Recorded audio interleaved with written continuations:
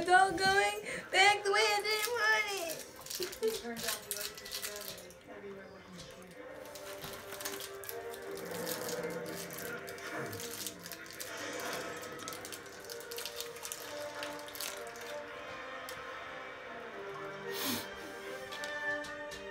I hate that when I try to look, the ball fucking moves.